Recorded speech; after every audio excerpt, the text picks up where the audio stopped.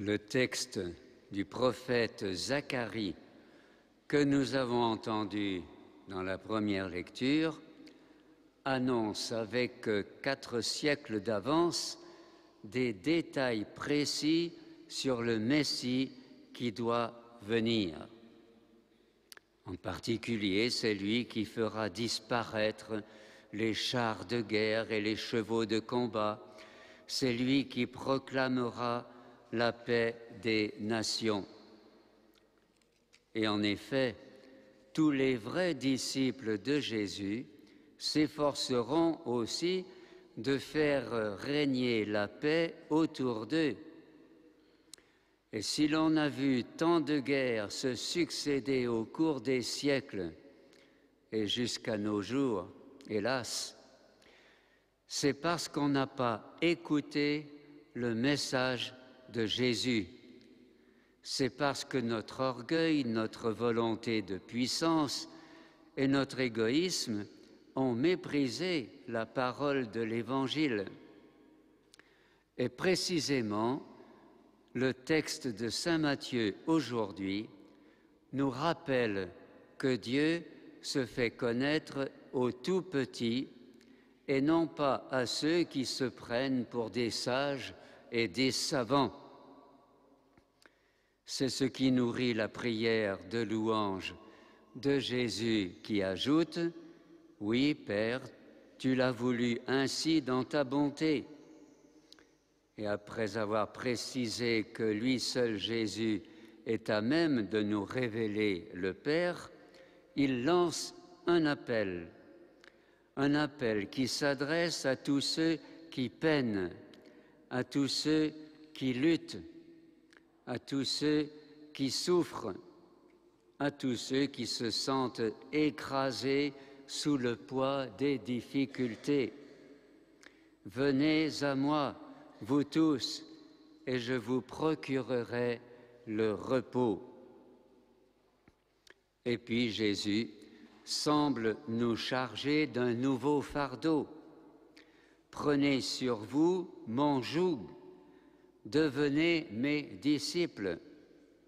En effet, le vrai disciple semble aller à contre-courant de la mode et des idées tendances. Et pourtant, et pourtant c'est Jésus qui a raison. Et c'est lui qui nous aide, c'est lui qui nous soutient dans les passages difficiles. Avec lui, tout devient possible. Oui, mon joug est facile à porter malgré tout, mon fardeau est léger. Parce que je marche avec vous, dit Jésus, je marche avec vous sur la route, je vous accompagne tout au long de votre vie. Ne perdez pas courage.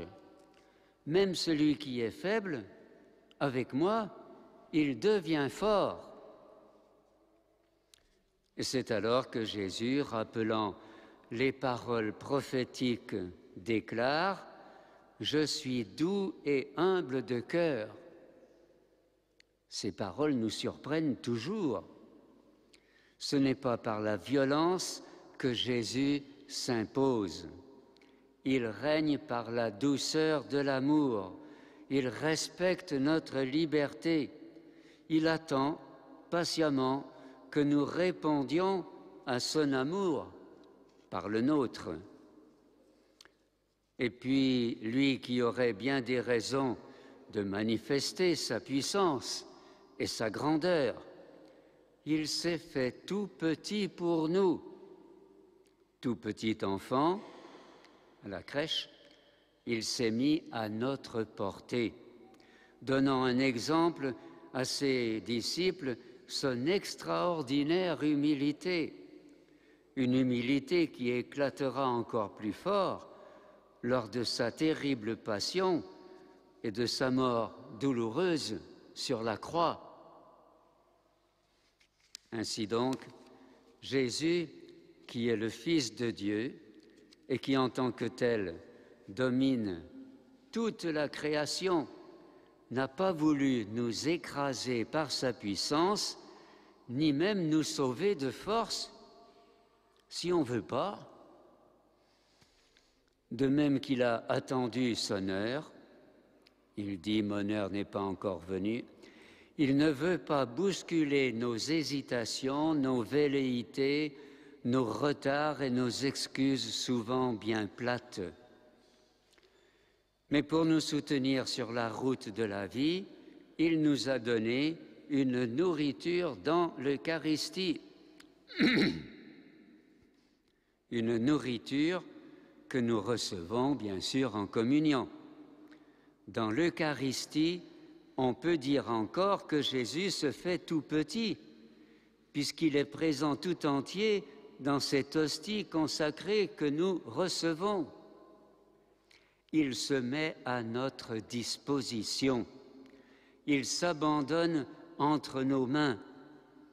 Et cette faiblesse apparente nous communique la force d'en haut. Cependant, il n'agira pas à notre place, mais il nous aidera à suivre son exemple. À l'invitation du prophète Zacharie, manifestons notre joie, crions notre bonheur de vivre à l'unisson de Jésus, qui nous aime mieux que personne et pour toujours. Grâce à celui qui vient en nous, faisons régner la paix autour de nous. Plus nous serons unis à Jésus, et spécialement grâce à l'Eucharistie, plus nous connaîtrons son Père et son amour.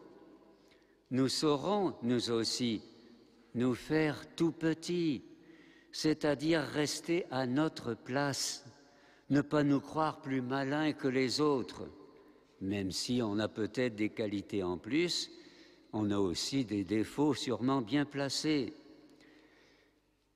Et si parfois pèse sur nous le poids des difficultés, et ça arrive, Jésus nous dit qu'il est là pour nous aider et à franchir les obstacles.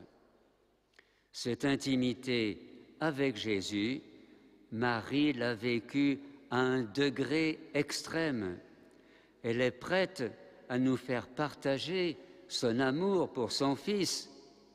Elle nous redit aujourd'hui, faites tout ce qu'il vous dira, même si c'est difficile, et vous serez heureux d'une joie qui vient d'en haut.